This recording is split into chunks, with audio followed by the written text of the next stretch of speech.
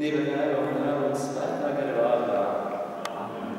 Mūsu kunga Jēzus Kristus žēlastība, Dieva tēva mīlestība un svētā gara klātbūtne, lai ir jums visiem. Amen. Darbie draugi, šovakar kā nācās eh, acu mirklīgi ielikt nama tēva lomā,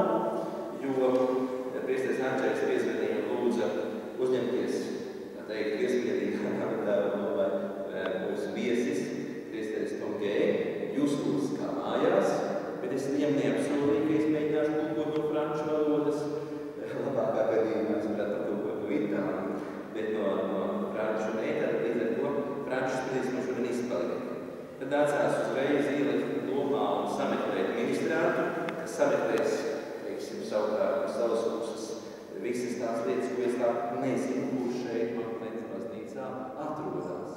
Nu, līdz ar to arī tās laikais tagad līdz, līdz, līdz bīgas krēslām. Bet tagad svētās patrīnas.